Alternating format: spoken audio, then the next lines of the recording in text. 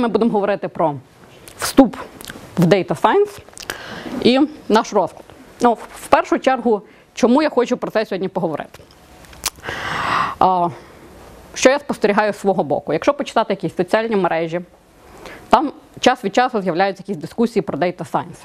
Причому туди приходять люди, які в принципі Data Science не займаються, але в них є якісь свої уявлення про це, і вони дають поради іншим людям, як їм стати Data Scientistами, що їм вчити, куди бажано йти. І дійсно, е, мені здається, що зараз в Україні ми маємо частину людей, які задумувались про те, чи не почати би їм самим займатися Data Science, або чи не найняти в їхній компанії людей, які би цим займались. Але проблема в тому, що насправді ми можемо знайти якісь поради, як стати Data Scientist взагалі в світі, але ці поради не завжди застосовані до українських реалій. В Україні ми маємо трошки там чуть-чуть свою специфіку. Е, тобто, в першу чергу я хочу розказати, що таке Data Science, де це застосовується і як стати Data Scientist. Якщо у вас по ходу будуть виникати якісь запитання, обов'язково їх задавайте. Тому що, в принципі, дана презентація вона більш готувалася на якомога ширшу аудиторію. Тому якісь специфічні питання, які можуть бути які можуть у вас виникнути, вони тут можуть бути не висвітлені. Ну і нема сенсу під них виділяти якийсь конкретний цей. Але якщо вас це цікавить, обов'язково запитуйте. Отже ж, дві, у нас буде дві частини. Перша частина більше поговорити про це. Що це, як це, на що це, куди рухатись. А, друга частина ми візьмемо реальні дані і попробуємо з ними щось зробити. І подивитися, як відбувається саме процес аналізу даних і що з цього можна отримати. Починаємо з першої частини про поговорити. Отже, останнім часом технології значно зрухались вперед. І фактично зараз стало порівняно, порівняно легко і порівняно дешево зберігати дані, зберігати дані про все. Фактично, кожен з нас генерує дані протягом всього нашого життя. Тобто, от якщо років 100 назад людина встала з ліжка, пройшлася, зробила собі каву, вона не генерувала даних. Зараз ви встали з ліжка, включили телефон, одягнули, а ще ви могли спати з фітнес-трекером. Тобто, навіть коли ви спите, ви можете генерувати таким чином дані. Так? І ці дані досить легко зберігати. Генерує дані, дані зараз фактично. Скоро в нас чайники. Я так розумію, що вже йдуть розмови про якісь там розумні чайники, розумні будинки і так далі. Тобто, навіть скоро ваша кавоварка теж буде генерувати купу даних, які теж будуть десь лежати. Цих даних є надзвичайно багато. Один Boeing 767 під час польоту генерує близько півтора терабайта даних. Це просто скріншот з з флейт-радара. Тобто кожну секунду цих літаків літає десятки тисяч, так? і ця вся інформація зберігається. Просто зберігати і накопичувати дані це одна справа. Так? Більш цінним, багато компаній на цьому будують бізнес, це обмін цими даними. Тобто, от, багато з вас чули, що в Україні, в Україні зараз є доступний сервіс, такий як Netflix. Так? Netflix це от, бізнес на обміні даними. Вони вам дають можливість користуватись контентом. Заходить в Україну той самий Uber. Та? Uber, що він дає? Він дає вам просто можливість обмінюватись інформацією. Є люди, які хочуть кудись поїхати на таксі, і є люди, які можуть їх кудись відвезти. Обмін інформацією. Наступний крок. Крім того, щоб цією інформацією тільки обмінюватись, якщо проаналізувати ці об'єми даних, які накопичуються, а не лише ними обмінюватись, можна отримати багато цікавих додаткових сервісів, або навіть знову ж таки частина компаній на цьому будуть бізнес. Фактично, для прикладу, є відома компанія Netflix, там, про яку ми вже говорили, що вона от приходить. Вони починали з обміну даними. В процесі цього в них накопи- накопичилось величезний об'єм даних про користувачів. Тобто, е, хто які серіали дивився, і хто які фільми дивився, хто в якому порядку, хто перестав дивитися. З часом вони додали додатковий сервіс персоналізацію. У них дуже класна персоналізація. Ви можете підписатись на сервіс, оцінити три фільми і вже отримати класні рекомендації, що подивитися далі, які вам, в принципі, на відсотків 90 підійдуть. Досягли вони цього досить тяжко і мучительно. Е, Фактично, відомий такий кейс. Вони в 90, здається, 6-му році е, запропонували конкурс, що вони дають мільйон доларів людям, які покращать їхню рекомендаційну систему на 10%. Цікавий факт в тому, що знайшлася команда, яка запропонувала рішення. Воно дійсно покращувало на 10% точність рекомендацій. Але Netflix не імплементував це рішення, тому що воно було занадто технічно складне. І їм було тяжко би застосовувати це для, для реального сервісу, моментального. Ні, ну переможцям дали ну все по-чесному. Конкурс був покращити на 10%. Вони ж не казали, що це рішення має імплементуватись в продакшені. Все чесно. Е, власне, серіал Картковий будинок. Е, це Netflix інвестував 100 мільйонів в те, щоб запустити цей серіал. Насправді це адаптація не дуже популярного серіалу. Е, перед тим, як прийняти рішення, щоб інвестувати і робити цей серіал, вони витратили 100 мільйонів доларів. На саме е, і для того, щоб вирішити, потрібно це робити чи ні, вони, ну це в принципі можете пошукати, це в принципі більше застосовується як приклад до іншого ківорда Data. Тому що проаналізували вони якраз поведінку користувачів. Ну, фактично, у вас є люди, які дивляться серіали. Частина людей подивилася повністю все, що є. Частина подивилася перший сезон, частина подивилася перший сезон, першу серію другого сезону, сказала, ой, ну це якась фігня, і далі не дивиться. І фактично, чим більше в нас є цієї інформації, тим більше можна зрозуміти, якщо ви знаєте про, про що було в тій серії, наприклад, ви можете проаналізувати плюс-мінус, чому люди могли би потенційно відмовлятися дивитися далі.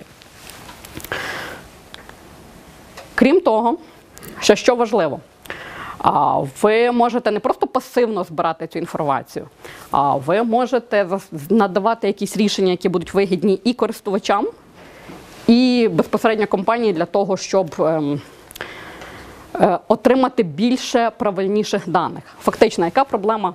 Далі розкручуємо цю, цей варіант з серіалами. Та? От ви дивитесь серіал. Netflix отримає інформацію, що ви подивилися повністю весь серіал. Але насправді ви подивились одну серію, заснули, всю ніч спали, а воно просто собі там показувало. Та? Netflix отримав сигнал, ця людина подивилася весь серіал. Але це неправильна інформація. Що зараз вони пропонують для того, щоб і користувачам було приємно, і їм і покращити свої дані? Вони пр- пр- пропонують розумні носки. Розумні носки мають в собі датчик, тобто ви засинаєте, носки починають мигати. Якщо ви бачите, що носки мигають, Карпатках. Е, Ні, ну ви ж хочете, щоб ну от вас є про ні, ну це, це для тих користувачів, у яких є проблема. Ну як вони це позиціонують? Що є користувачі, у яких є проблема, що е, серіали рухаються безперервно, так? І потім треба шукати те місце, де ви заснули. І що це складно. А так воно просто вам поставить на паузу в той момент. Тобто це позиціонується як вигода для користувача насправді. Як шкарпетки заблимались, серіал на паузу. Ні, ні, шкарпетки заб- заб- заблимали. Якщо ви не спите, ви це помітите, там порухаєтесь трошки, і серіал буде ну, по-різному. Вночі ногою не рухаєш. Е, ну, я не користувалась ними, треба спробувати. І в мене нема проблеми засинання, чесно кажучи. Можете можна потестувати. Тобто, фактично, вони зараз всюди це позиціонують просто як класна фішка для гіків. Та? Типу, от розумні носки, ну класно, можна ж хвалитись, та? На івентах розказувати, що от в мене є там такі шкарпетки. Але насправді, насправді цим вони покращують свої дані, що дозволить їм покращити їхнє рішення. Крім того, трапляється так, що дані, які накопичуються в процесі просто зберігання обміну і так далі, починають мати більшу цінність, ніж е, то, чим компанія на початку займалася. Е, є такий виробник фітнес-трекерів Jabon. Фітнес-трекери зараз є на будь-який смак. Для дуже різних груп користувачів Jabon робить акцент на тому, що вони класно міряють сон. І вже кілька років, в принципі, от в кінці 2015 року їхній SEO вже вкотре, вкотре сказав, що насправді вони себе позиціонують не як hardware company. Тобто вони не кажуть, вони кажуть, що оце це не їхній основний бізнес. Це так, виробля, виробляти оці железячки, які вам просто дають можливість слідкувати за тим, як ви наскільки ви активні. Це ну менш важливо. Що основна їх цінність в їхній компанії це саме ті дані, які вони накопичили. Ну як вони це ілюструють, що власне вони. Е, презентували їхнє рішення е, в е, серпні 2015 року. В Штатах був землетрус. І от вони фактично взяли дані своїх користувачів по різних е, регіонах в Штатах і показали, як вони прокидалися вночі. І намалювали це на графіку. І сказали, що от дивіться, під час цієї презентації навіть люди з Білого Дому сиділи і робили нотаточки. Тобто ми вважаємо, що цінність цих даних, які в нас є і які ми можемо аналізувати, тепер значно більша, ніж, ні- ні- ніж цих речей. Ні, ну вони ще кажуть, що залізо це не їх основна спеціалізація, бо ця гедота ламається раз на рік. А зато і ви, і ви йдете і купуєте нову, правда? Нюанс в тому, що якщо щось, от фактично зараз мобільні телефони, фактично колись робили мобільні телефони такі, що не могли працювати 10 років. Зараз компанії не роблять такі телефони, щоб працювали 10 років. Візьміть смартфон, і через 2 роки у вас ну, ну таке, та. Можна кожного року міняти, бо, бо, бо все вже застаріло, все тормозить, перегружається і неможливо користуватися. Тобто є ще такий нюанс, що можливо вони і зекономили, і користувачі купили знову. Питання, яка як вони цінність даних?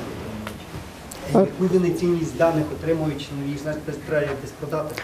А, ну, продають вони агреговані дані, тобто вони не продають дані, що от там користувач такий, то пробігає 10-10 кроків. Так?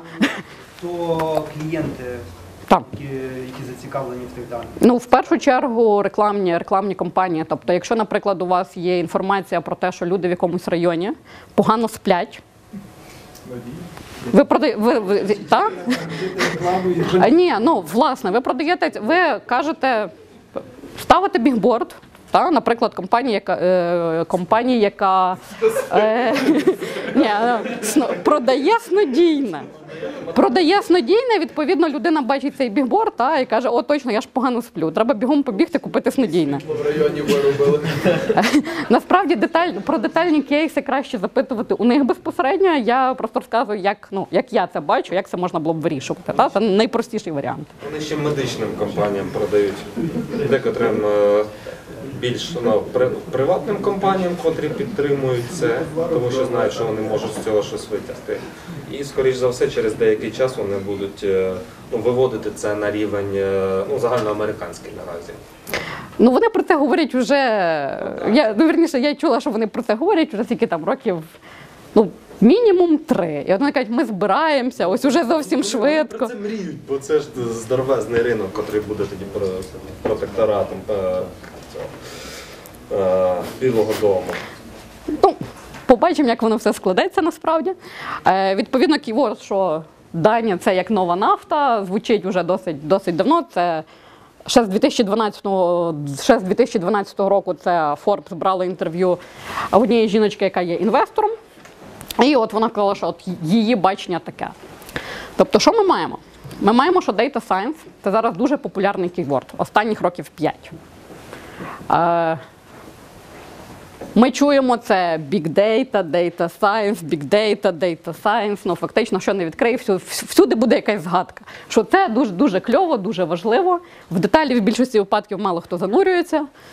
Йдуть от через оці от кейси, які я показала. Та дивіться, як це кльово, дивіться, як це це, і нам треба обов'язково аналізувати дані. Взагалі, давайте розберемося трошки, де ж тут science? Що таке data? Ми вже зрозуміли, що от дані, треба з ними щось робити. Як з ними робити? Взагалі, Data Science і то, що є всередині, ці підходи вони не є нові. Просто зараз з'явилися можливості обробляти ці величезні об'єми даних. Тобто, що ми маємо? Ми маємо величезну кількість даних і можливість їх обробляти. Тобто, в нас є обчислювальні потужності, в нас є багато людей, які займаються девелопментом, які знають, як ці дані автоматично обробити. Є методи математики і статистики, які теж не є нові, так? І в нас є різні галузі. Якщо людина добре знає якусь предметну область, є в ній експертом, вона знає, які, які в цій галузі є проблеми. Які проблеми можна вирішити, які проблеми не можна вирішити. Так? Але вона про них знає. Якщо вона знає, проблему, в неї є дані, і в неї є методи обробляти ці дані, ми можемо отримати класне рішення. От саме про це і є Data Science. Так?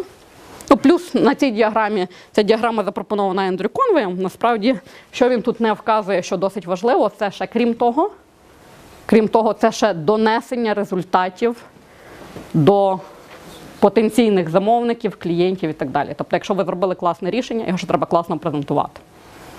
Data Science це також про це. А ще таке питання. Так.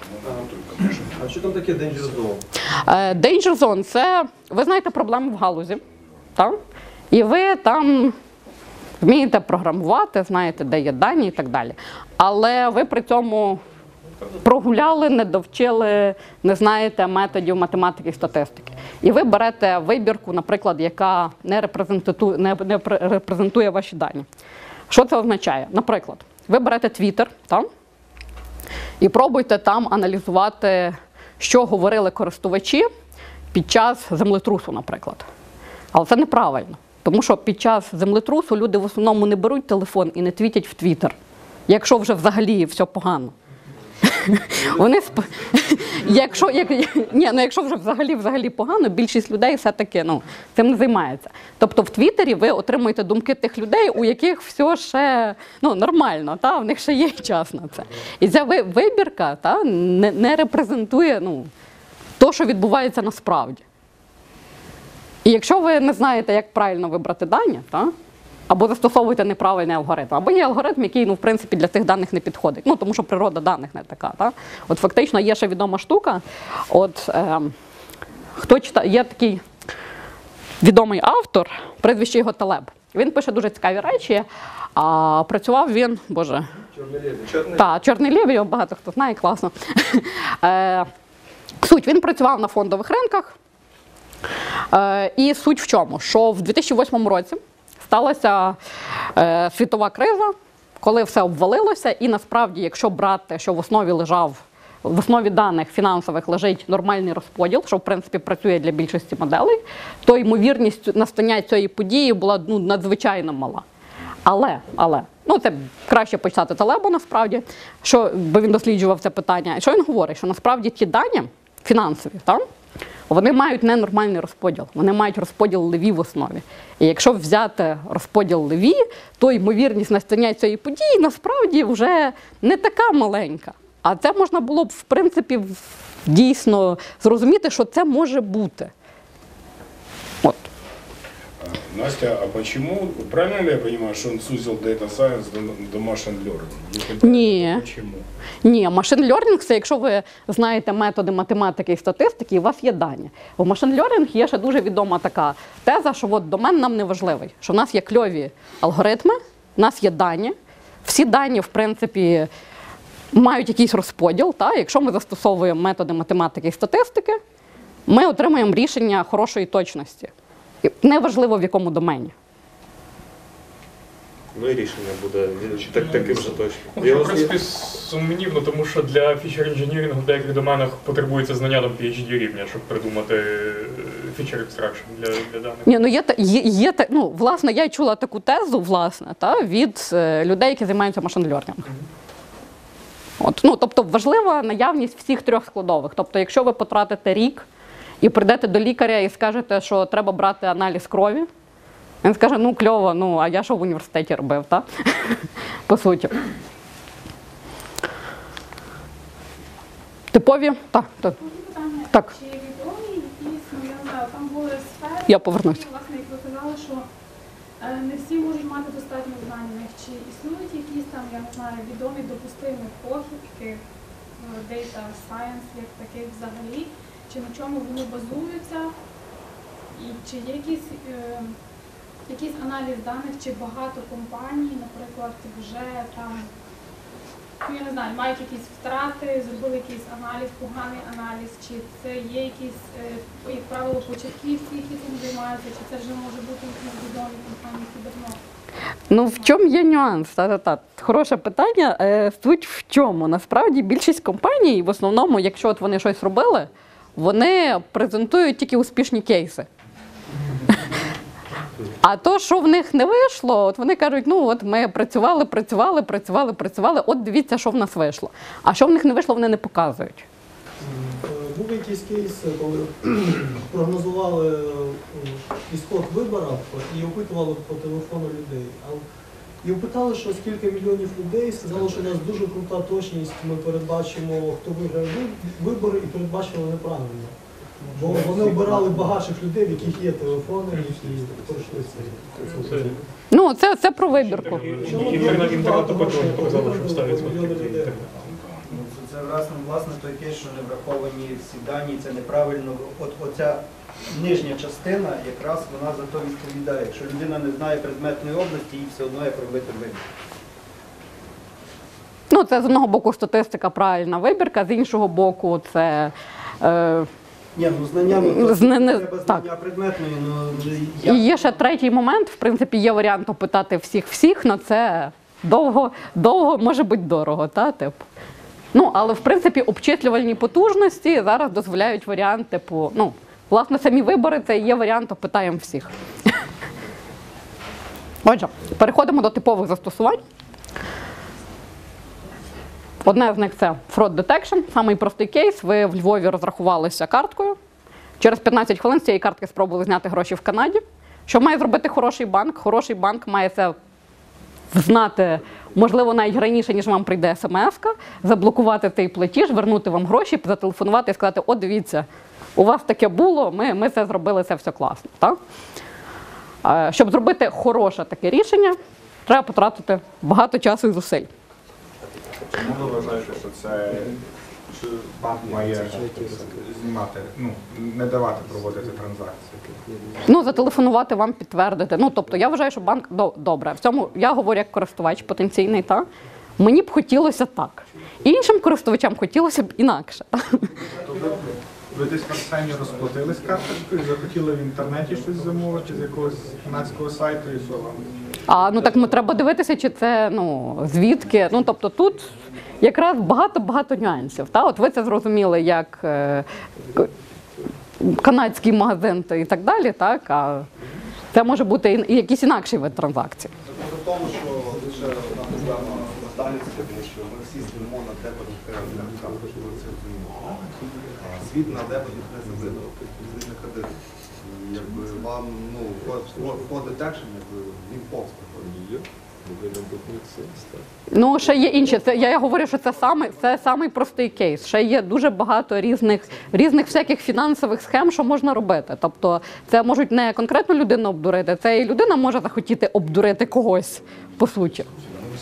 Колись, до речі, ем, один е, із топ-технарів на eBay розказував, що е, вони навіть спеціально допускають певний відсоток правда, тобто не намагаються його знищити повністю, тому що 0% е, шахрайства це для них може означати, що поганий UX має система. Тобто в них навіть існував нижній ліміт на рівень е, шахрайства в системі, щоб типу знайти баланс між зручністю і безпекою. Ну так, бо якщо вам задають дуже багато питань кажуть, ну фактично можна перед кожною транзакцією дзвонити і питати, а це точно ви? А ви впевнені, що ви хочете потратити 30 гривень? Е, рекомендації. Рекомендувати зараз, фактично рекомендують зараз все. Один з типових варіантів, ви пішли на якусь умовну розетку, щось там купили, і вам ще два тижні показують рекламу, що от купіть це. Так?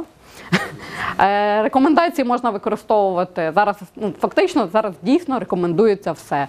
Книжки, е, люди, з якими вам з якими ви можете познайомитись, люди, з якими ви можете створити сім'ю, е, курси, де ви можете чомусь навчитись.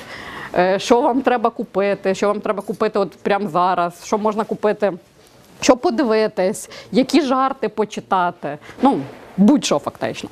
Е, Деякі з цих речей можна використовувати там, як, наприклад, підбирати собі. е, Є ще цікавий варіант, е, коли ви умовно обираєте собі сферу, де би ви хотіли чомусь навчитися. Ви можете, ви знаєте, що там є класні книжки, ви їх ще можете не читати, але промаркати, що ви їх почитали, і подивитися, що вам ще порекомендує. Оптимізація. Так як е, насправді оптимізація е, може бути фактично будь-що. Тобто це може бути оптимізація перевезень, е, це може бути оптимізація розкладу. Тобто, якщо ми маємо, наприклад, якусь велику лікарню і лікарів, які чергують у якихось е, е, позмінно. Правильний розклад, ну і крім того, фактично там ще є нюанси, та, що люди хворіють, люди йдуть відпустки і так далі. І фактично правильний, правильний розклад дозволить зробити приємно як працівникам, так і, так і безпосередньо пацієнтам цієї лікарні. Тому що насправді от розклад та, от він важливий і для пацієнтів, і для лікарів. Оптимізувати можна дуже багато різних варіантів. І хороша оптимізація дозволяє дуже сильно зекономити. Якщо ми говоримо про перевезення, транспортні перевезення можуть бути е, дуже різні по сумі, дуже різні по часу. Користувачі хочуть отримувати свої е, умовно, якщо ми говоримо, наприклад, про замовлення, користувачі хочуть отримати ці замовлення якомога швидше. Якщо ми говоримо про оптимізацію, наприклад, якихось супермаркетів, є взагалі продукти, які псуються. Та? Тобто ви купили мандарини, ви їх привезли.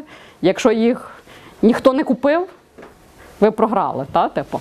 Якщо люди приходять в магазин, а там немає мандаринів, ну теж якось не, не, не, не, дуже ок. Та? В Амазоні є така штука, що він е, пробує предиктивно підвозити товари в певні регіони, тобто навіть якщо їх ще ніхто не замовив, але є там якась транспортне довантаження, він пробує довантажувати предиктивно якісь товари і довозити в регіони, щоб, щоб їх, напевно, хтось скоро замовить. Ну, в Україну я думаю, що вони предиктивно, на жаль, поки що ні, ні- нічого нам не довозять. На жаль. Але було би було би класно, бо зараз фактично книжку треба чекати, якщо не замовляти якісь там додаткові шипінги в районі півтора місяця. Е, Sentiment analysis. Тобто, коли ми говоримо про аналіз тональності текстів. Е, Тут зображено е, було досить класне дослідження. Зібрали книжки е, 20-го сторіччя і проаналізували, наскільки там е, рівень задоволеності, е, вірніше, щастя і нещастя. І побудували це по роках. Тобто, фактично, як бачимо, в районі Другої світової війни люди відчували, що вони нещасливі, що в принципі цілком логічно. будували? Ну, як е, робили цю метрику рівень щастя? Тобто по кійвордах якихось шукали? Е, Є слова, ну фактично, якщо ми говоримо про книжки, та є слова, які виражають щастя. І є слова, які виражають нещастя, відповідно. Зрозуміло, що деякі слова, вони, ну, деякі слова це, це, це виражають чітко, деякі менш чітко. Так. Ну, власне, там в кінці презентації лінк, де ви можете почитати всю статтю, все дослідження. Це досить ґрунтовне дослідження. Вони пояснюють, як вони це робили, що вони визначали, які слова вони брали і так далі. Е, Якщо ми говоримо в контексті якоїсь е, компанії чи продукту, зрозуміло, що важливо знати, що люди про вас говорять. Якщо ми говоримо, на- наприклад, про Morning Logica, люди прийшли, вони можуть написати фідбек в офіційну форму, а можуть написати в Фейсбуці там о, там було так класно, або о, більше туди не піду. Так? І фактично можливість це отримувати ці дані автоматично з, велик, е, великої кількості джерел і бачити саме результат. Тобто вам не важливо прочитати всі думки всіх цих людей. Вам важливо знати суть. А, всім сподобалось. Або ну там 70% залишились задоволеними. Так? Тобто вам важливий результат. І якраз аналіз тональності текстів дає, цей, дає цю можливість. Там далі. Розпізнавання тексту, зображень, е, природної мови. Е, Це, це матеріал з наукової статті 2015 року по розпізнаванню зображень. Е, Але це йде не просто розпізнавання зображень, а опис картинки. Тобто, що на цій картинці зображено. Тобто зараз алгоритми дозволяють сказати, що то це маленька дівчинка їсть торт. Деякі речі вони розпізнають класно, а деякі не дуже. Та? Отут, отут жінка тримає іграшкового ведмедика перед дзеркалом. Оце це в нас іграшковий ведмедик. Та? Тобто ці алгоритми ще не ідеальні, але, наприклад, розпізнавання зображень дає можливість знову ж таки побудови е, автомобіля без водія, що в принципі досить класно і може значно змінити жит- життя людей, які з якихось причин не можуть водити автомобіль. Так? Цей сервіс продакшені можна десь попробувати?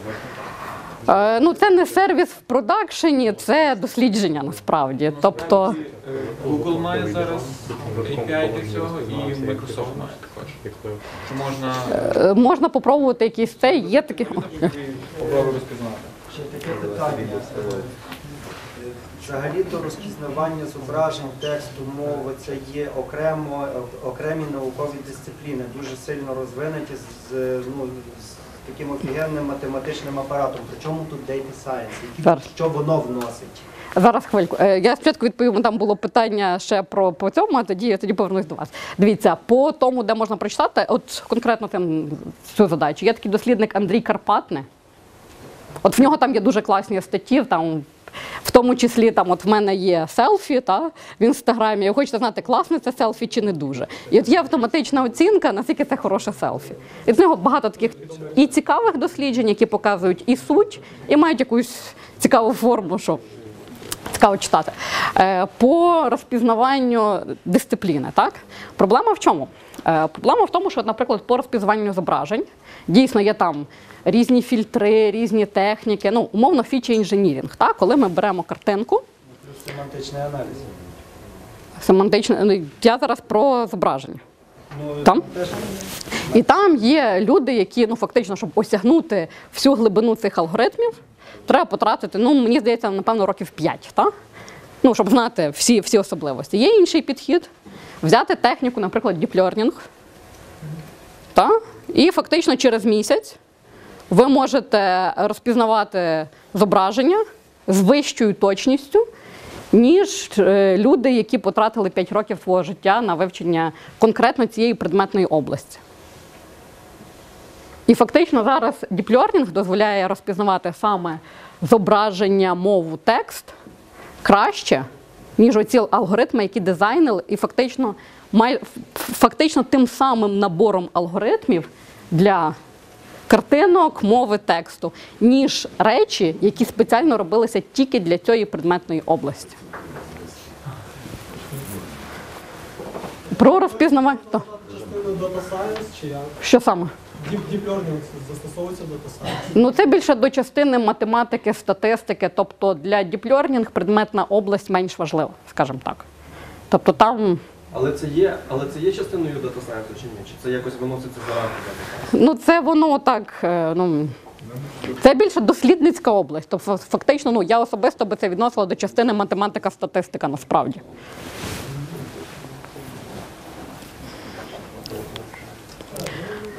Future prediction, ну насправді зараз є теж такий відомий кейворд, який багато хто з вас чув, напевно, predictive analytics. Та? Тобто, коли е, ми прогнозуємо, що буде в майбутньому. Е, Зрозуміло, що, наприклад, якщо в нас є Укрзалізниця, йдуть е, новорічні свята, то знаючи, в принципі, що було в минулі роки, що в цей час пасажиропотік, наприклад, до Львова зростав в рази, по-хорошому треба пустити пару додаткових потягів. Так? Якщо ми оцінили це неправильно, то може бути, що ці додаткові потяги можуть поїхати порожніми. Тобто, з одного боку, пасажири то будуть задоволені, але гроші потратяться на ці потяги, які підуть порожні. Тому тому має бути баланс, так, коли ми маємо досить точно прогнозувати, що буде.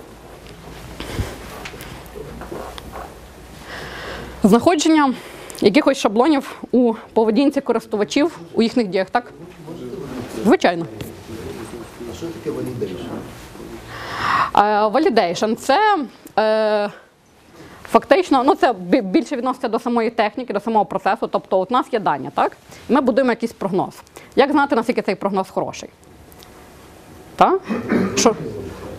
Е, от. Ми, передбаченого з тим, що насправді сталося. Так, тобто- Коли відбулася подія, тікаючи, чи ми її правильно передбачили, чи Що виходить, що є, е, що є справи, якщо є предікти, то то, що е, навчилися, так, результати, які будуть казати системи, так, і коли вони співпадають, то, то validation, так? Ні, ні, ні, не зовсім. Е, припустимо, от в нас є та сама Укрзалізниця, та? зараз е, 2016 рік. Ми хочемо передбачити, що буде в кінці 2016 року. Ну, у нас довгострокове планування. Та? Е, ми будуємо модель, і щоб зрозуміти, наскільки вона правильна, ми припускаємо, що зараз не 2016, а 2015.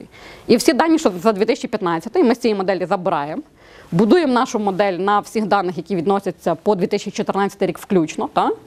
І будуємо прогноз на 2015 рік і порівнюємо це з 2015.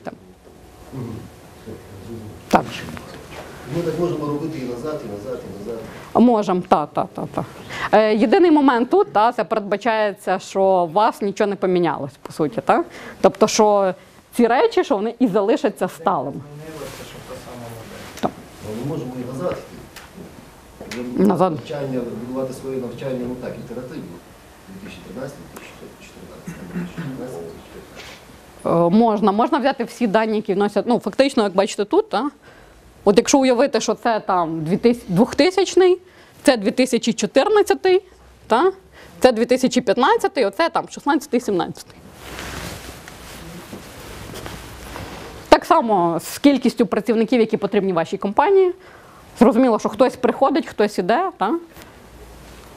І скільки вам треба буде працівників, якщо ваша компанія зростає? Або навпаки.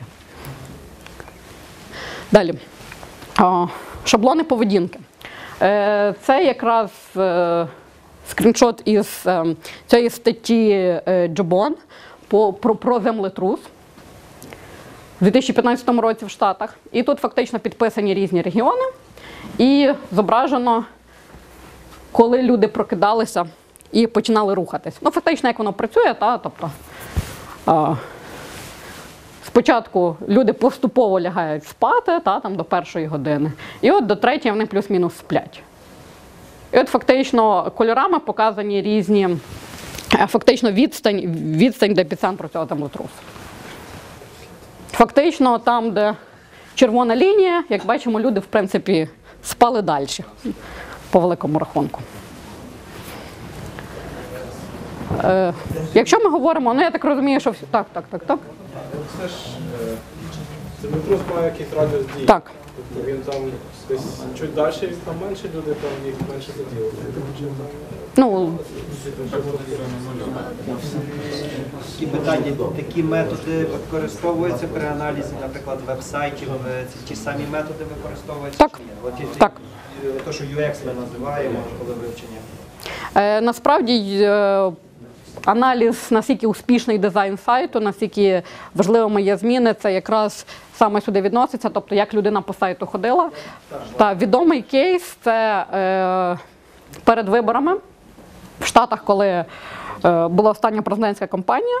От безпосередньо сайт Обами дуже мінявся, якраз там використовувався аналіз даних, тому що там у них була кнопочка. Ну, вони умовно прийшли до того, що треба поміняти колір кнопочки там. Не на чорний, не на чорний. Як, якщо я не помиляюсь на зелений, і там кнопочка була червона, і ніхто не ходив, а вони поміняли на зелений. Ну, власне, там було багато елементів, і саме вони досліджували, яка кількість людей, от як вони ходили по сайту, і там була кнопочка зареєструватись. Фактично вони досліджували, е, в яких випадках як, як дизайн сайту має бути спроєктований, щоб люди до цієї кнопочки доходили і натискали на неї. Є же сейчас разговоры про адаптивные дизайны, которые сами себя просто меняют и анализируют данные от пользователей. Е, Ну, щоб побудувати так, і щоб побудувати це рішення, це вам якраз треба зібрати, зібрати всі ці дані та і зробити так, щоб ця модель працювала і правильно мінялась. Да. Ну, она просто сама по себе Так. Ну, сама по собі, перед тим як щось міш- міняє саме, саме по собі, треба, щоб його хтось навчив так все-таки міняти. Тобто, щоб була побудована. Сидиш, дивишся, кнопка еволюціонує.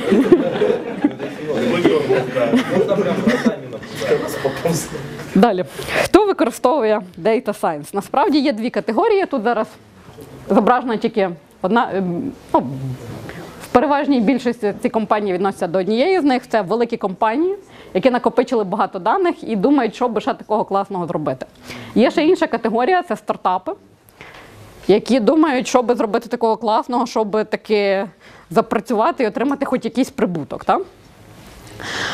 Фактично, як ви бачите, зараз сфера для застосування Data Science всюди. Та? Сваровські, Parks, е, Хіларі Клінтон, НАСА. Насправді е, всі зрозуміли, що якщо добре помучити дані, то можна отримати для себе якусь користь. Потреба в людей, які займаються Data Science. Тобто, з одного боку, всі компанії зрозуміли, що от треба мучити дані. Питання в тому, хто це буде робити. Так? А, це попит на кількість дейта сайентистів в Штатах. Тобто це, це не Україна, це не світ, це лише Штати. І як бачимо, він з 2011 року різко пішов вгору. Насправді, от десь приблизно в тих межах, там 2013 рік. Якщо ви читали оці статті там Data Scientist, Sextets, Job е, of the World, там нам треба буде якісь там величезна кількість людей, які вміють аналізувати дані і так далі. Оцей прогноз робився отут. І вони отут малювали, що от все піде от так от цей. Так? Але насправді, насправді там все трошки пішло вниз. Це, це якраз про прогнозування. По суті, і про те, наскільки можна довіряти цим цифрам. Тому що багато людей досі включають в свої виступи е, саме оці дані там 2011-2013 років. Але там ситуація чуть-чуть була не така, та? тобто був якийсь спад. Чому саме я пояснити не можу, це треба досліджувати додатково. Але зараз ми знову маємо приріст потреби. Питання, чи є в Україні далі? Нема, звичайно. Е, ну, проблема в чому? Проблема в чому? Е, проблема в тому, що от якщо ви візьмете оце. Е, Сайт є такий Indeed.com, він, в принципі, е, для досить великого е, ринку праці в Штатах. Та? В Україні немає якогось конкретного сайту, який би дозволив це моніторити. Ну, DOU, DOU, DOU публікує вакансії. Розрізнені дані. Там вони, Публікує. вони збирають там буквально по кількох точках, і там розкид, наприклад, зарплат data scientist и такі е, в кілька разів. Причому по одному регіону навіть. Тобто ну, два кейси вони взяли, один, одному пощастило, другому менше. В Україні, для ситуація буде суттєво гіршою. Чому? Тому що якщо дані вони самі по собі мають дуже велику важливість, і клієнти е, не готові ділитися з аутсорсерами, не будуть готові ділитися з аутсорсерами от так легко всіма своїми даними. А щоб будувати хороші моделі, треба мати е, не до обфускейчених чи фейкових даних, а до реальних даних доступу. Ну, Це ви от зараз ви все звузили тільки до аутсорсинга. насправді. Ну, е, більшість, більшість джобів в Україні все-таки згенеровані аутсорсингом. Е, Ну, в нас нема статистики по Data Science насправді. Тобто, з моїх спостережень є компанії, які в аутсорсингу, є компанії, які не в аутсорсингу. Їм треба Data Scientist, але ще частина з них це не позиціонує як Data Scientist. Тобто, якщо ми говоримо про е, якісь невеличку мережу супермаркетів, вони можуть це публікувати як аналітик. Та? або дослідник. Тобто проблема ще в тому, що немає чіткої, чіткої класифікації, особливо в Україні, як правильно цю е, вакансію спроектувати. Тобто, якщо ми говоримо про цей ринок аутсорсингу, де принаймні хоч англійською публікують, то все, все, ре- ре- решта сфер життя в Україні там взагалі ну, досить тяжко це аналізувати. Я, я цього Око передбачає, присилає знижки. Регулярно. Е, ну, мій коментар був до того, що в продуктових компаніях е, цей ринок дійсно буде рости таким чином. В аутсорсі з тим А хіба в аутсорсі не заходять кльові проекти, де це потрібно? Ну, Ну, не знаю, як у вас, але у нас заходять. А что в аутсорсинге не бывает, не пускают в кор бизнес, я не понимаю. И делаются для банков проекты, да? NDA, А всі что, діла. они вообще отменили, что? банки банкрутують, як правило. Ну понятно. ні, ну насправді е, заходять, але е, клієнти, як правило, дуже обережно стартують з цього. Тобто е, ситуація є гіршою все-таки, ніж продуктова. Все, що говорить цей слайд від Насті, і меседж, що тенденція буде рости. Якщо ми не хочемо через кілька років залишитися з Spring-based MVC аплікаціями, то нам треба трошки включитись. От. Я, я цей слайд так розумію. Е, Я ще хочу сказати, що часто е, ці речі е, ну, не, може не плутаються, вони десь е, перегукуються, що кажуть е, економ, економетрика. От що, що треба людину, яка займається економетрикою, але фактично це є, е, потрібен да, да, data science, е, тобто аналіз цих даних. Е, Що ця вертикальна вісь означає? Тобто там написано відсоток приросту. Тобто це не абсолютна Ні. потреба, а це, тобто якщо це Приріст. перевести в абсолютну кількість вакансій, то це буде експонента взагалі ще. Так. Тобто це просто приріст цікавості за, за рік, так? Так, так. Ну це не, не, не цікавості, це не цікавості, це публікації. производная. По суті, похідна, так. Так. Ну тобто це п- кількість е, вакансій, де шукають конкретну людину. Тобто це не пошук. Так, так, так, так, так. Так, йдемо далі. Хто, хто всі ці люди, яких шукають? От всі, всі їх шукають, та? всі шукають, всім треба. Хто це? Що вони, що вони взагалі роблять? А, є багато різних класифікацій. Одна з класифікацій, що от у нас є люди, які безпосередньо займаються дата інженірингом, тобто вони шукають дані, щось з ними роблять, е, роблять їх придатними для аналізу. Що є люди, які займаються Data Science, які безпосередньо взяли вже там підготовлені дані і щось з ними зробили класне. Є ще додатково там чуть-чуть збоку бізнес інтелідженс, де ми взяли ці дані, покрутили, подивилися, яка ситуація є. Та? Є інша класифікація, її запропонував е, Роберт Ченг, який працював Data Scientist в Твіттері, можливо, ще працює. Е, написав він її після, то, після двох років проведених Твіттері. І він виділив таких два простих підходи. Тобто, що от є люди, які займаються аналізом, і є люди, які займаються побудовою рішень. Тобто є два типи дейта сайентистів. Тут можна було поставити картинку, є два Львови, але ми не будемо це робити. Е, Чим відрізняється тип А і тип Б? Тип А, ну, в принципі, це більш, більш до традиційного розуміння. Е, Data scientist або statistician, та, фактично. Тобто це людина, яка знає математику, це людина, яка знає статистику. Але крім того, крім того, вона ще е, має знання в домені, може описати свої знахідки, що, що вона зробила, в чому суть цього аналізу, що воно дає. Е, знає, як працювати з даними. Тобто, не просто ми взяли підготовлені дані Міністерством статистики України і на основі їх зробили якийсь аналіз, а все-таки може взяти просто дані з життя і щось з ними зробити хороше. Type B – білдинг. Е, я так розумію, що в значній частині цієї аудиторії воно може бути навіть більш цікаво, тому що є частина людей, які вже вміють працювати з даними, які вміють створювати рішення, які гарно програмують. Так?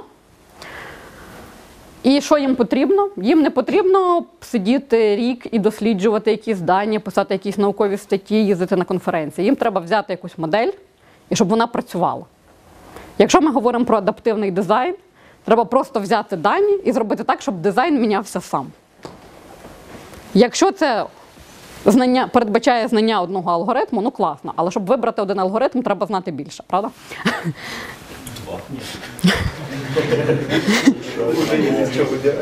Тобто насправді, насправді будь-який поділ, будь-яка класифікація, вона досить умовна, в силу того, що всі люди різні, і кожен, і кожна людина має свій якийсь е, досвід, свою якусь експертизу в різних речах і свою зацікавленість в різних речах.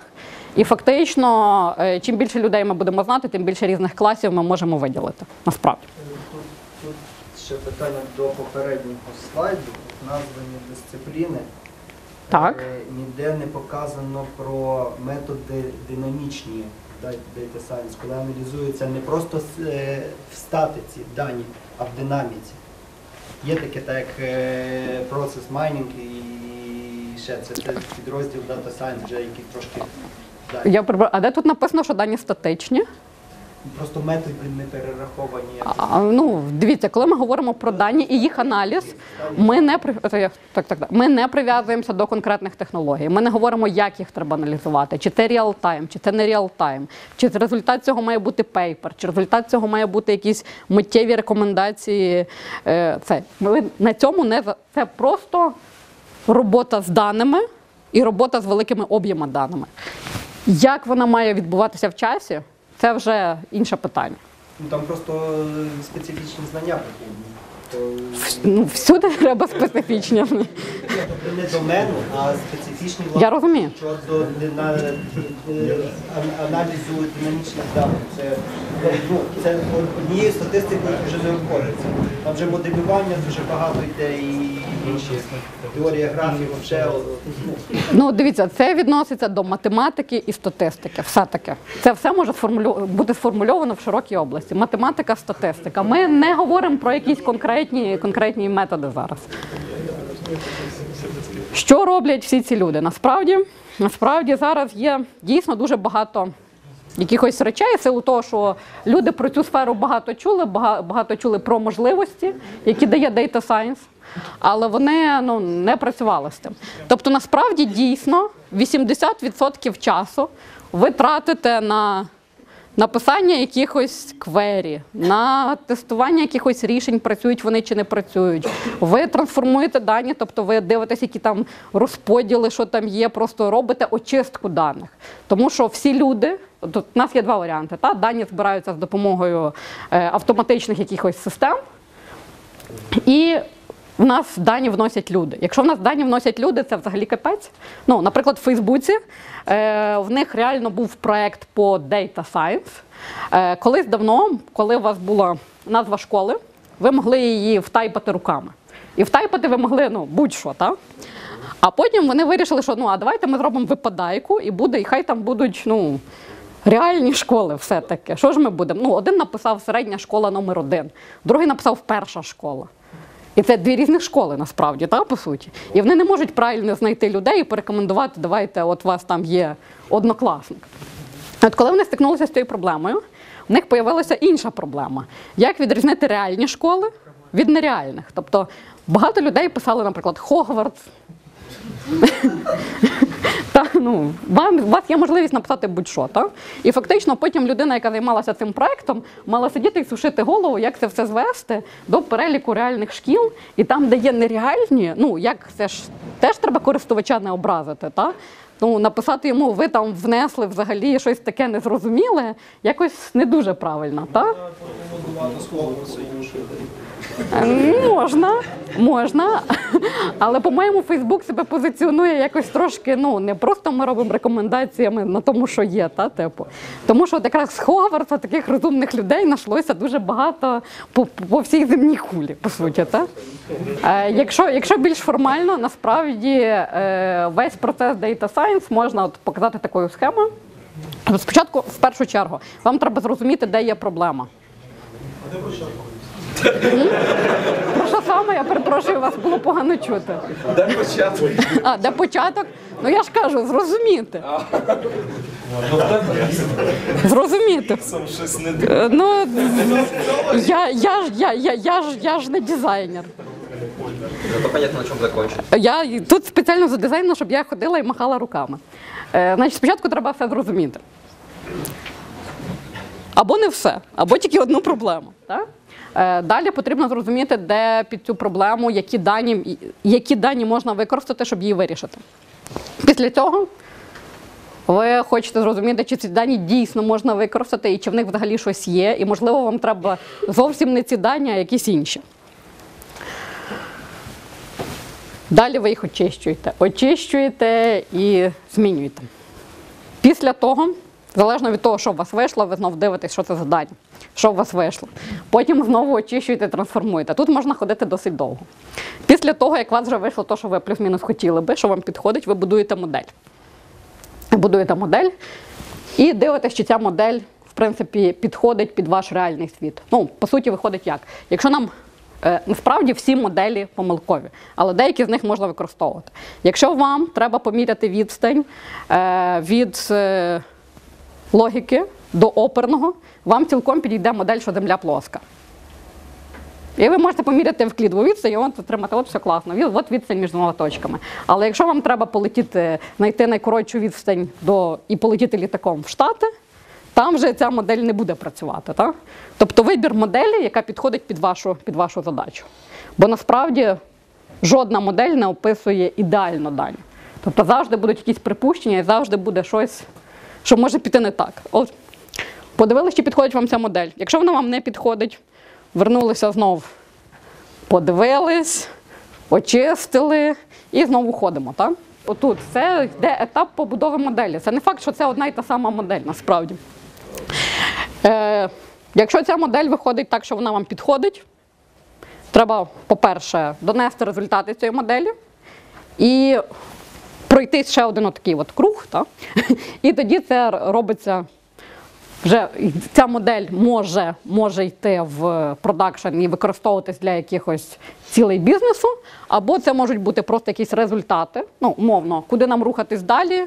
От Укрзалізниця, да, у нас буде попит на наступні новорічні свята, нам треба 10 додаткових потягів. Все, диплоя не треба. Так. Питання, е, чисто із власного досвіду, як це вписується в цикл розробки певного продукту? Тому що, в принципі, це е, напевно більше виглядає як науковий метод, який базується на гіпотезах і експериментах і валідаціях. Е, Якщо є замовник з конкретним очікуванням, бюджетом, часом, це можна вписати в традиційний цикл розробки певного продукту? Таку діяльність дата сайентіста, яка може, яка має великий відсоток невдачі і великий.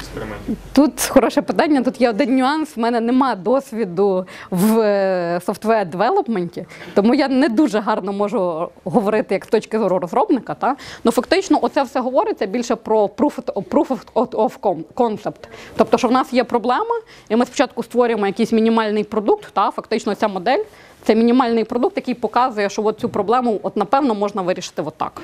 Можно я отвечу? Звичайно. Я нормально аутсорсер продаю по модели R&D. Может и не получится. Netflix знает как, десять процентов. Скільки, наприклад, часу від постановки, від understand до першої моделі і до готової, тобто власному досвіду? О, ну це дуже це дуже залежить від того, що ви хочете зробити. Ну Ну, можете якийсь приклад надати? тут е, приклад у нас буде. У нас буде друга частина, яка присвячена якраз саме процесу, щоб ви бачили. Насправді, та? от по часу. Можна тільки, тільки в відсотках можна говорити. Ні, ну насправді. Очищення даних, збір і так далі. 80% часу, та? 20%, ну, вірніше, де- 10-20% це от ви цю модель провалідували, і далі ви та, представляєте результати. 146%. Ні, насправді проблема в чому? Це можна вмістити в 20. Питання в тому, ну наскільки якісно, насправді одна з дуже важливих складових, яку дуже потрібно тренувати, це презентація ваших результатів в доступній формі. Не так, як пишуть у нас наукові статті в Україні. От там на правда.com.ua там є зараз про стаття про плагіат у якійсь науковій е, кан, боже, кандидатській з педагогіки. Якщо прочитати сам текст, Статтю треба прогнати через антиплагіат. та там не то, що плагіат, там, якщо читати сам текст, там губишся в третьому слові, там не зрозуміло про що. Наприклад, в Штатах, і навіть на не то, що в, ми не говоримо про давайте не будемо про університети, будемо говорити про конференції з машин learning, де складні методи. Там стаття А не більше шести сторінок. Раз, і по-друге, ці статті мають бути максимально зрозумілі іншим людям. Тобто, не я експерт в цій області, я от щось розкажу, ніхто мене не зрозуміє, всі скажуть, о Боже, як класно, і все. А так, щоб інші люди зрозуміли, що ви робите і навіщо ви робите. І от оце от дуже складно. Тобто, чим складніша у вас сфера, чим більше всього є, вмістити це в якісь короткі, зрозумілі речі дуже складно. І це не менш важливо, ніж побудувати класну модель. Що треба знати вміти, так? Так, треба вміти все, дуже правильно. Е, насправді, почнемо з- основного. Це все-таки знання домейної області і якісь, якісь навички просто, про- про- просто такі загальні. Та? Тобто ви в першу чергу, ну, це, це чисто моє суб'єктивне бачення, то, що я зараз буду розказувати, та? але бажано любити дані. Тобто, якщо ви любите дані, якщо ви любите щось, щось з ними робити, вам буде приємно працювати. Бо ну, в Data Science може прийти, бувають різні мотивації. Та перша мотивація, якщо ми не хочемо через кілька років десь залишитись, давайте будемо срочно щось вчити. Та? Інша мотивація: о, а ми чули, що в Сан-Франциско зарплата дейта сайентіста в рік 200 тисяч. Вау, як кльо... ну, це тільки про Сан-Франциско, та?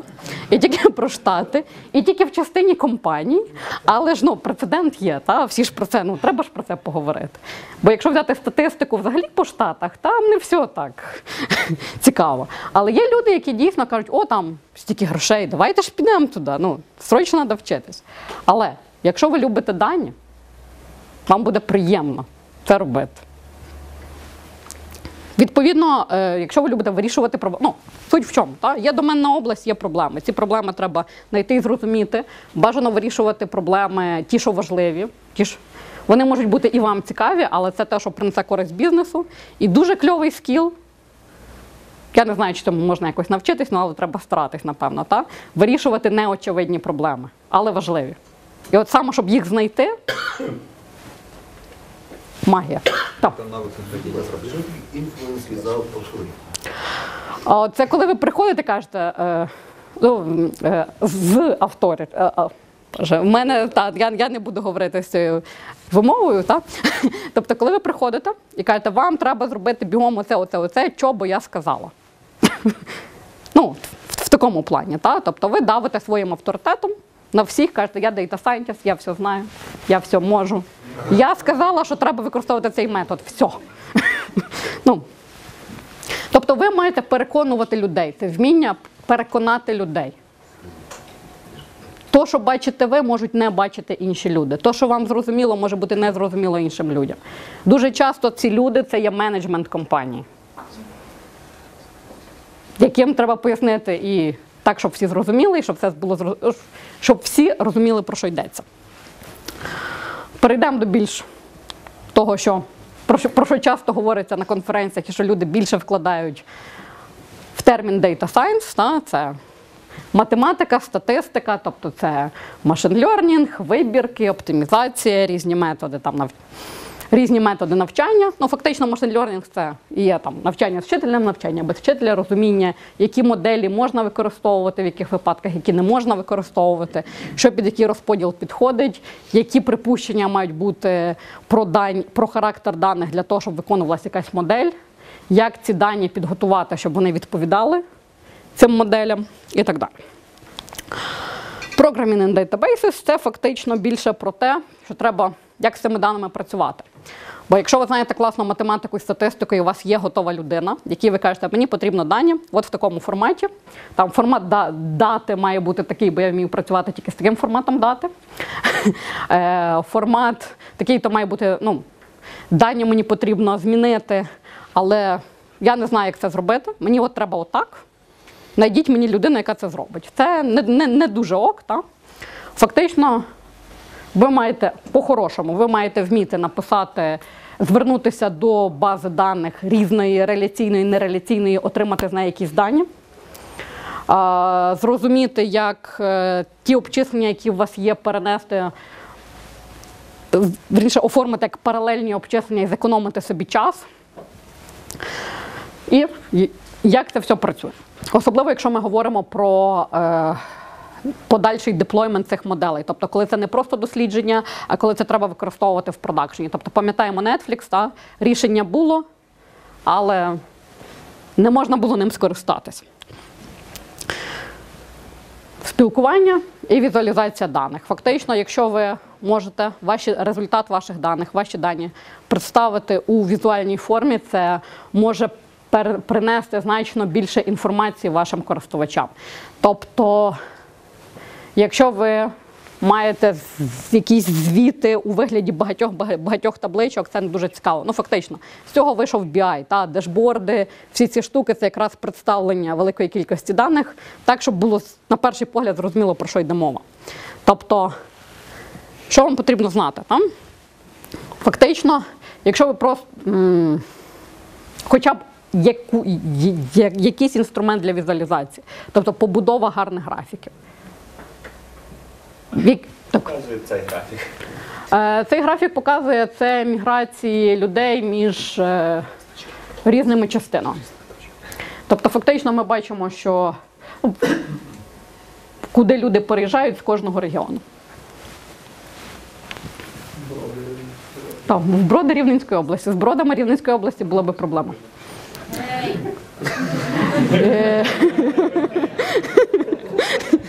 Е, Ще один важливий момент. Один важливий момент. Фактично, дуже ду- дуже цікавою штукою є сторітелінг. Тобто, коли ви робите якусь презентацію, по-хорошому там має бути якась історія за цими даними. Тобто, якщо ви говорите, просто у нас є е, користувачі, е, які використовують Mac, і після того вони купляють дорогі квитки. Це класно, але якщо ви виберете якогось конкретного користувача, розкажете, як він живе, що в нього є, що в нього є MacBook, що він любить подорожувати, що він любить подорожувати в далекі країни, йому подобається Таїланд. І от з великою ймовірністю він купить квиток в Таїланд. Це просто трошки, тр- трошки інша історія, яка більш зрозуміла людям. Можна питання? Так. Які є засоби для такої візуалізації? Якісь може відомі?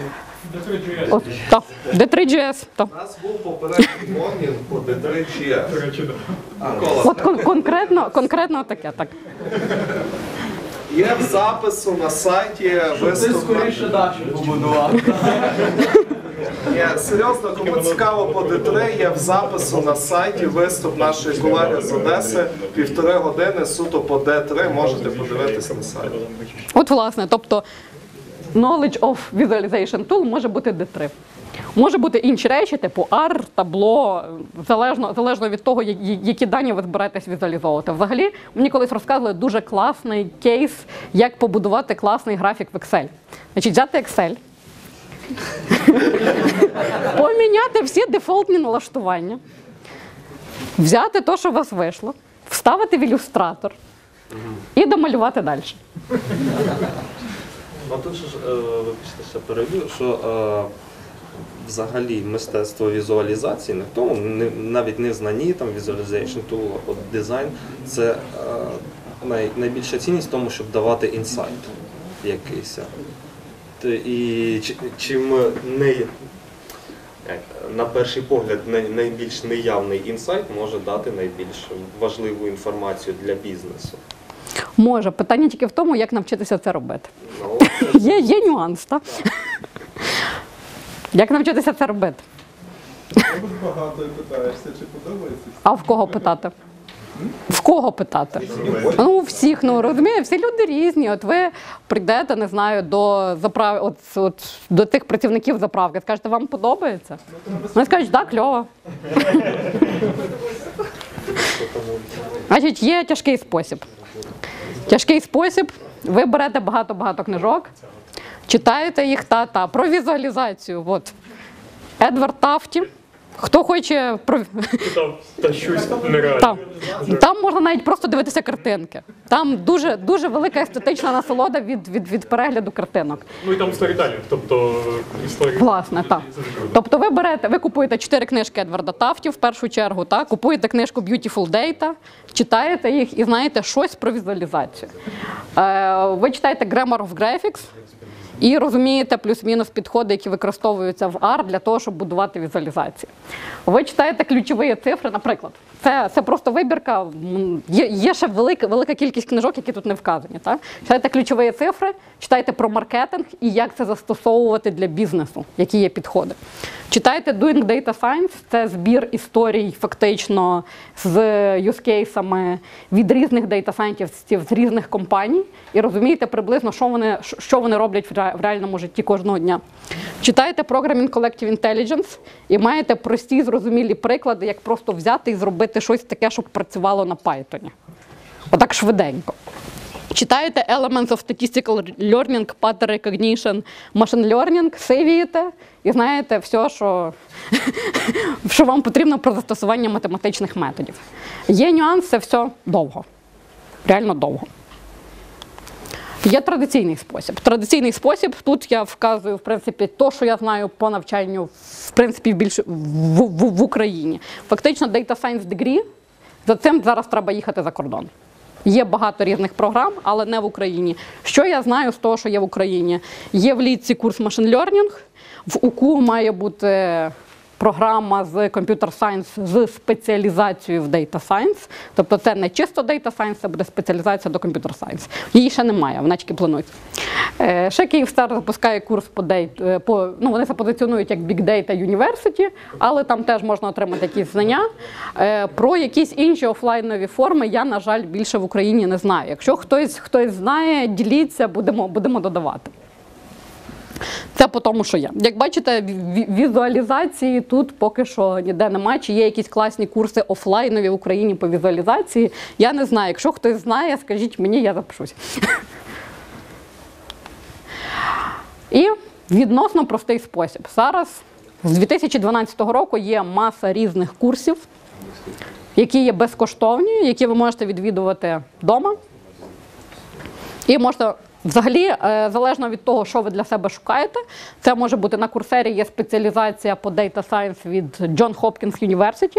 Це така ґрунтовна спеціалізація, там здається 8 чи 9 курсів, які якраз мають різні сфери в собі і показують вам повний шлях. І після того ви можете вже реально працювати як Data Scientist, по суті.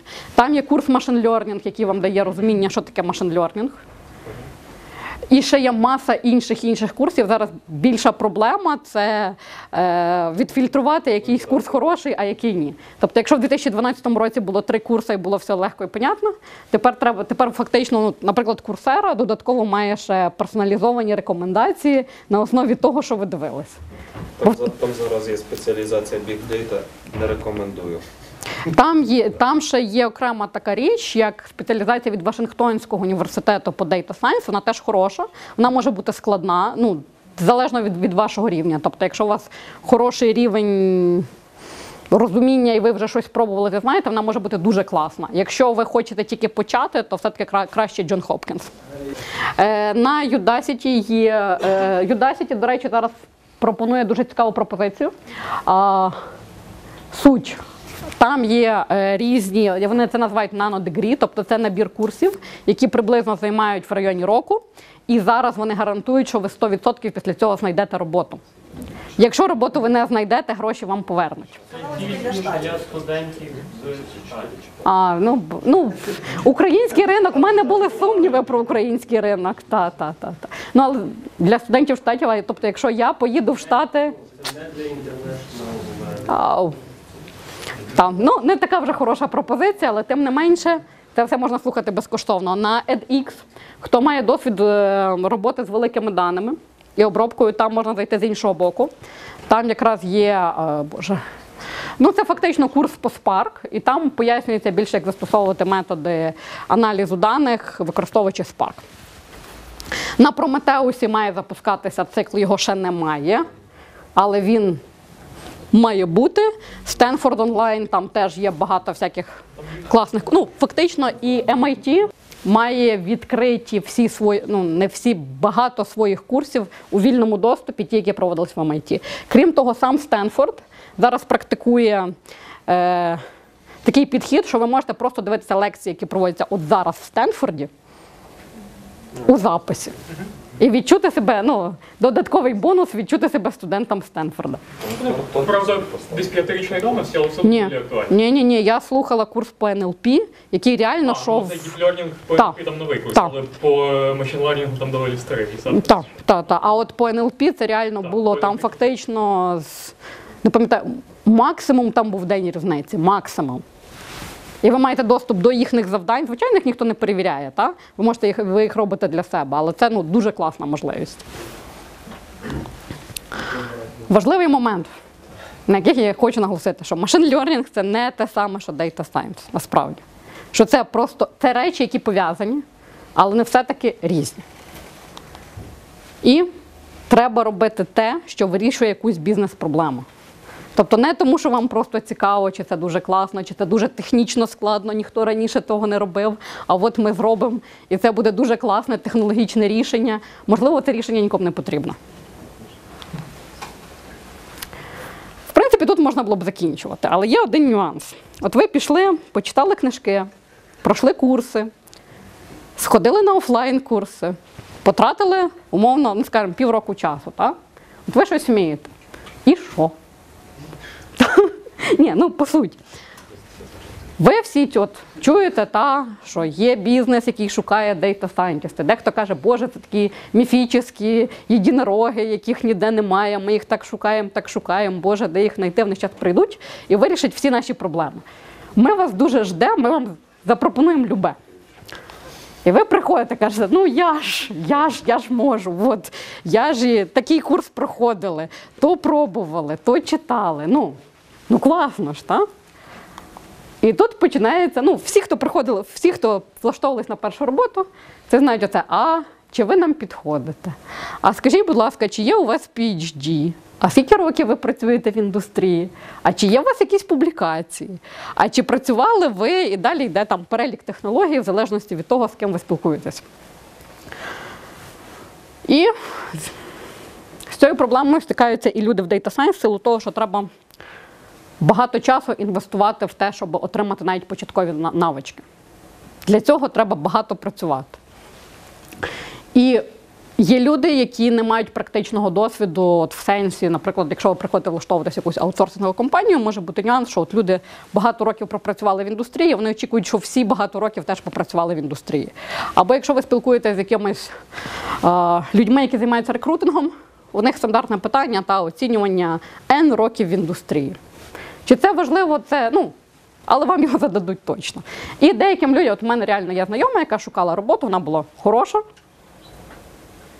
Вона отримала знання, в неї було навіть PhD, та, але в неї не було досвіду в індустрії. І їй е, компанії 5 українських сказали: ну, ви знаєте, от все у вас класно, все супер. Ну, але ж ви не працювали то як Data Scientist ніде. Чого ж ми вас візьмемо? Да? От. І така проблема є не тільки в Україні. Вона знайшла роботу Так вона знайшла роботу. шостого разу. А, ні, є, є, є інший шлях. Інший шлях це фріланс біржі, де вас ніхто не питає про роки досвіду. Е, насправді, насправді, якщо в нас е, наявність чи відсутність е, PhD це не така велика проблема. По суті, навіть наявність чи відсутність вищої освіти це не дуже велика проблема в Україні. Якщо ви шукаєте роботу, то за кордоном це гірше. А в 2010 році Ентоні Голдблум, це такий підприємець, він був молодим дейта-сайентістом. В нього не було PhD, йому було 27, по-моєму, років, і він шукав роботу. Працював він до того статистиком. Так. Ні, насправді це дійсно реальна історія, і вона ну особисто мені вона дуже подобається по суті. Та? От він шукав роботу, його ніхто не брав на роботу. І він зрозумів, що насправді, насправді, а, і жив він в Австралії. Та? В Австралії це Австралія не Сан-Франциско. Там нема 100-500 вакансій дейта сайентістів. І не кожен стартап каже, о, ми теж хочемо. В тій компанії є, нам теж треба, напевно. Насправді проблема яка? Що є компанії, в яких є бізнес-проблема. І є люди, які можуть ці проблеми вирішувати. Так? І фактично е, традиційний спосіб це ми знайдемо. Вирішує є два способи. Та? Перший, ми собі наймемо людину або команду, яка буде ці задачі для нас вирішувати. Друга, ми наймемо іншу компанію, віддамо це на аутсорсинг. Але тут, як зауважувала людина, власне, на аутсорсинг ми тут свої дані віддамо, та? але ну, невідомо, що вони з ними зроблять. Та? І що зробив Ентоні Голдблум? Він зробив стартап. Так, в мене нема цього слайда про Кегел. А, Власне, е, так, він мав бути посередині, це я зрозуміла. Так. Е, він заснував стартап, який фактично вирішує цю проблему. Тобто е, це просто площадка, куди можуть приходити компанії з, якимось, з якоюсь конкретною проблемою, яка в них є, з даними під цю проблему, тільки під цю проблему. Так? І туди може прийти будь-яка людина, зареєструватися і почати цю проблему вирішувати. Е, По результатах вирішення вас можуть або взяти на роботу в який-небудь Фейсбук, умовно. Е, Ну, власне, Фейсбук там вже проводив як мінімум три, три змагання, де якраз призом була робота. Е, Можна отримати гроші. General Electric проводило саме конкурс на вирішення проблеми оптимізації перельотів. Тобто, якщо у нас є велика кількість літаків, їх можуть затримувати, там можуть бути різні погодні умови і так далі, але кожна затримка літака насправді виливається в гроші. Там? І фактично, якщо правильно оптимізувати перельоти літаків, то можна виграти гроші. для компанії. І фактично компанії для цього отримують, вони просто виділили гроші на приз, так? і по суті вони не тратяться там на оплату команди Data Scientist, які ще не факт, що дадуть якийсь результат. Так? А люди, які приходять там реєструються, вони можуть отримати знання в першу чергу. Тобто там є частина, частина змагань, е, на які можна зареєструватися, взяти участь. Там якісь просто базові набори даних, які відносно легкі, наприклад, е, передбачити, чи врятувалися би ви, якби ви були на Титаніку. Там досить нескладна структура даних і, в принципі, дуже багато алгоритмів. Досить класно на, на тих даних працюють. А є реально великі дейтасети з величезною кількістю інформації, з яких можна нічого і не отримати. Відповідно, якщо ви виграєте в змаганнях гроші, репутація, ну і фактично вам е, є ще компанія така Data Robot, от вони фактично запрошують. Ну, з одного боку, Facebook це велика компанія, та Data Robot це така менша компанія, яка, по-моєму, вона працює в Україні, але зареєстрована в Штатах, щось, щось в такому плані. В Києві багато людей працюють з фрілансом. Одна людина зі Львова не так давно, наш колега по ремонту працює на Дейтерову. От, Так от, що от. можна знайти роботу. Так. Ну і в них якраз специфіка, що вони стараються знайти людей, які безпосередньо на кеглі отримали якісь позиції. Е, якщо ви переможете в цих змаганнях, чи гарантовано ви знайдете роботу? М, Такое. Е, Проблема в чому? Проблема в тому, що там є конкретні задачі. Тобто те, що ви вирішили одну задачу класно, не значить, що ви можете постійно приносити користь якійсь конкретній компанії, яка, можливо, навіть працює в іншому домені. Тобто, то, що ви класно вирішили одну задачу, ну, кльово. Ну, ще нічого не гарантує. Але Kaggle дуже класно. Там в них є багато тюторіалів, багато посилань. Крім того, до кожного змагання є форум. Тобто люди діляться своїми знахідками. Крім того, вони зараз ввели досить класну фічу. Е, якщо ви в процесі дослідження ваших даних зробили якусь класну візуалізацію, якийсь класний графік, ви можете його опублікувати, інші люди за нього проголосують. А е, якщо не ви зробили цей графік, ви можете подивитися класний графік і як він був зроблений. І з цих прикладів навчитися. Тому що фактично проблема в тому, що якщо ви програмно робите якийсь графік, а не ручками малюєте, та? То дуже складно проробити всі деталі. Буває якась маленька деталь, яка би дуже покращила ваш, цей, цей ваш графік, але для того, щоб її зобразити нормально, щоб нічого ніку... Я в case ми, ми будемо дивитися на графіки. І там якраз можна потратити часу в 5 разів більше, ніж на продукування основної, основної моделі. Що ви не знайдете на кеглі? Ну, ні, ні, ніби все класно, але проблема в е, що ви навчитеся? Ви можете досліджувати дані, щось з ними робити, будувати моделі. Ну, як варіант, ділитися своїми знахідками, писати якісь статті або публікувати свої візуалізації. Але ви не маєте розуміння бізнес-проблем. Ви можете тільки знати, що от така компанія таку проблему вирішує. Чому вона її вирішує? Чого саме вона її вирішує, ви не знаєте. Дані для вас вже зібрали і підготували. Тобто у вас не стоїть проблема, де взяти дані і як їх об'єднати в, одне джерело. І, ну, власне, розгортання цієї моделі теж ну, проблема цієї компанії, яка опублікувала цей датасет. Так, А я можу виставити проблему? можете. Запостити проблему можна. Так. Там можна навіть робити, тобто, якщо проводиться, наприклад, якась подія, там можна організувати своє внутрішнє якесь, ніби як змагання, де ну, в людей є форма гейміфікації. Та? Тобто всі роблять, всі працюють над одною проблемою, але в когось виходить краще, в когось гірше. Та? Тобто, там можна е, зробити і приватні якісь змагання, фактично. От. Що важливо? Цей процес як стати data scientist, як знайти роботу, як займатися data science. Насправді довгий, довгий, болючий. Та, в принципі, це не тільки в data science, це в будь-якій сфері так. Та? І фактично цей варіант passion and persistent. Тобто, якщо ви любите те, що ви робите, вам буде простіше підтримувати інтерес до цього. В якісь моменти ви все одно розчаруєтесь. І вам буде тяжко. Отут вам треба персистенс. Тобто, якщо продовжувати рухатись в цьому напрямку, то з часом можна бути класним в будь-якій сфері. Це те, що нас чекає після перерви.